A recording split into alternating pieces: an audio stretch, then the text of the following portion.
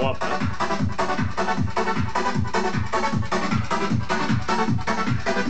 Muy bonita queda. Sí.